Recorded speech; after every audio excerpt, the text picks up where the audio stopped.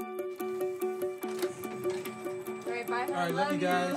See ya. Love you.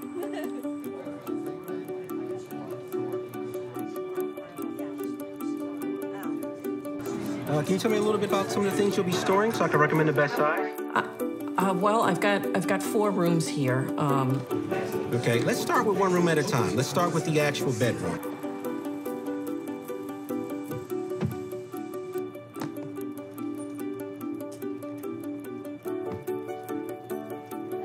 The store manager will set it up whenever you sign your lease. So, James, can you tell me a little bit about some of the things that you'll be storing with us? I got a, a garage full of stuff I don't use anymore. 1152. All right, it worked. Thank you very much. All right, well, thank you for choosing CubeSmart. I hope you have a great day today.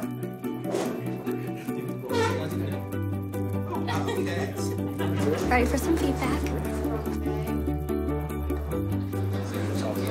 She was super nice. So did a really great job of probing to make sure we were getting it the right size. Very different size. So I don't know how to look up like a store. Any idea, like by, the search by city? Yeah, but she's getting better. Oh, yeah.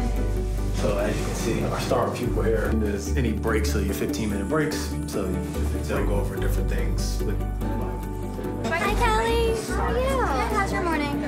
How's yours? It's good. It's a little busy today. And how soon will you look for some storage? Is it possible to get into a unit today? I'm calling to looking for storage at CubeSmart. Okay. Help me to figure out where I can find storage. Perfect. All right. So I have a facility located here. Uh, do you think it's gonna fit in the dock? I know I got a, I got a pretty far distance to go. Hello, this is Calvin calling from the sales center. I have a customer on the line and they wish to confirm if a 53 foot long truck would fit on the property. yeah, we can accommodate a 53 foot truck.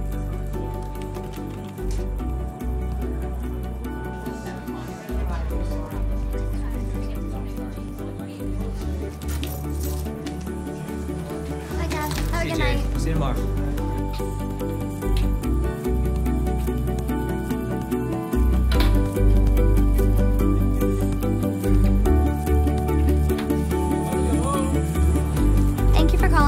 CubeSmart customer service. My name is Jade.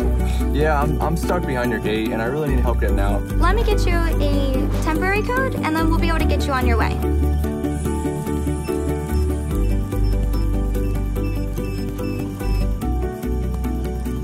All right, it worked for me. Thank you very much. All right, Joe. Well, thank you so much for calling CubeSmart. I hope you have a great day today.